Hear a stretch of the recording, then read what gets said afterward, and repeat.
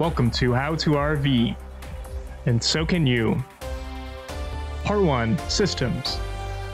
This is your squat pod, your poop shoe, your juice box, the bug box, your future Goodwill donations, the involuntary explosive device, the modesty skirt, the solar oven, and lastly, the test of patience.